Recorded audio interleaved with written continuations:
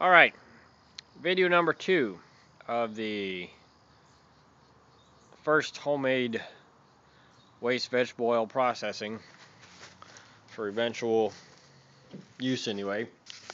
Oh man, it's dark.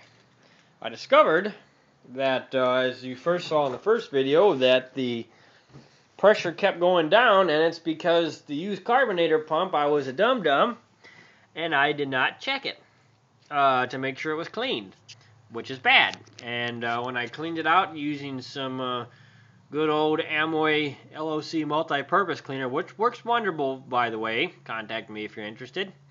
It uh, works very well for cleaning the oil off it. Works very well for just all around cleaning. I, I really, really like it.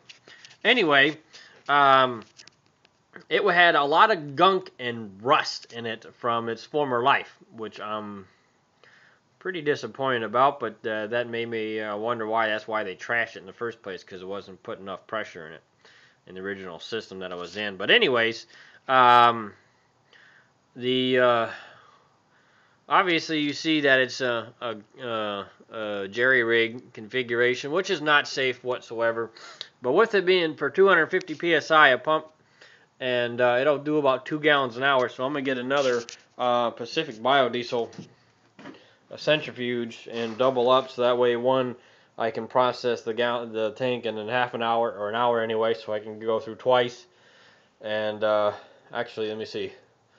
Uh, yeah I'll go through twice at least so I can polish it. But after about five minutes of my original mess um, I took it off and the oil I had was pretty clean anyway.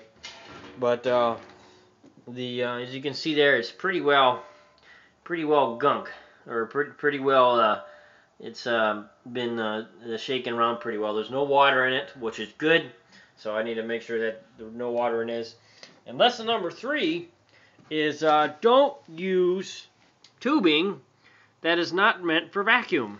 This clear tubing that you see here, which it was pretty cool to watch the, the, the uh, oil to go through it and all that good mess, it started capsizing.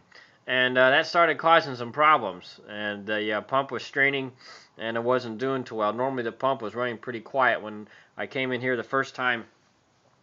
Uh, before I made the video, the first video, it was uh, doing pretty good. Then I came back again to shoot the video, and that's why I was all loud, was because the uh, um, the tube was capsizing. But as you see here, you got rags, and you saw the rag on me. But anyway, like I said, it's a pretty good setup, and uh, I'm excited to do that.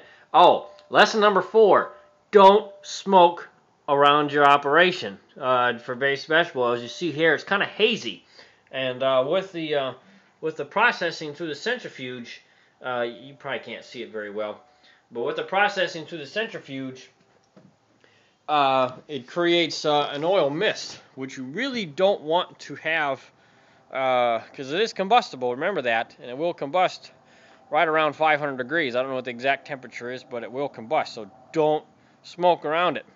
But anyways, uh, more to come, and I uh, hope you enjoyed the video.